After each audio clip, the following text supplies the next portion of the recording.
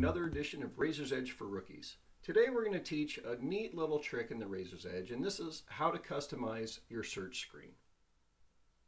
Now typically in Raiser's Edge, when you're doing a search for a record, it does what's called an enhanced search. And let me demonstrate. I'll type in, say, the last name of Smith. Now when I run this, the research results are pulling back a lot of information per record. You'll notice that each one is taking up about five lines, and if you look, it's providing a lot of information. I'm seeing the full name. It'll show the title, the suffix, and even a spouse. And that, this is very helpful when you're trying to find that right record. Often you'll have a, a father and a son where one will be a senior and one will be a junior. And this really helps you identify that one record. Now the problem comes is if you have say 100 Smiths in your system. It becomes a real chore to have to scroll down through 100 names when each one is taking so much space. Even if you use the expand results button, which is available, you're still only going to be able to see so many at a time. So often you'll find a lot of people find this as a frustrating view. So they uncheck this enhanced search so they can see more names at a pop. The problem comes now is now your search results are showing less information. You're not seeing a title or a suffix that might be a junior or senior. Well, I'm going to show you a way that you can remedy this.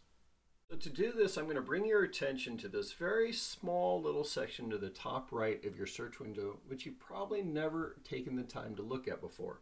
If you'll notice, there's a section that says search using the query, and it just says default. But on the right hand side of that, you'll notice a small little button that you can press. And what this will do is actually open up a base query. Now, if you've had any experience in query, you notice that you have the ability to put any field you want in the output. So what I'm going to do is go over to the output tab and you'll notice right here is pretty much all the fields that are being shown up in that block during an enhanced search.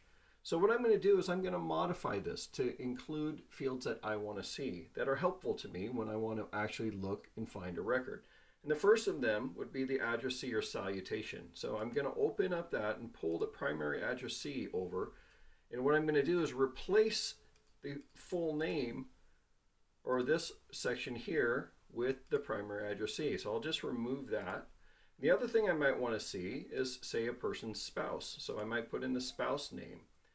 And just like any other kind of search, you might find that the spouse name really helps you identify which record. Now, the other fields that are here, you see address block, you see preferred city, you see constituent ID. Maybe there's something else on there that you would like that helps you find the right record.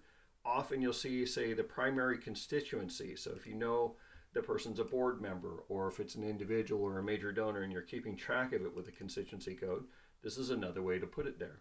So this is a good way that you can now identify all the fields you want on a search. Now once you've done this, notice this button on the left, it says save and return to search. So when you do it, you're going to give it a name. And it can be any name you want. I typically just say master search query.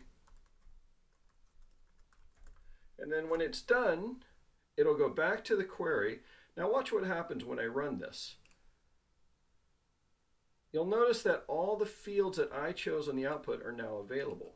You'll see a constituent ID, the primary addressee, the spouse name, the address block, etc. Whatever we put in those output fields on the query are now what we get to see. And we can see as many as we want without having to use the enhanced search feature, which limits how many we can see.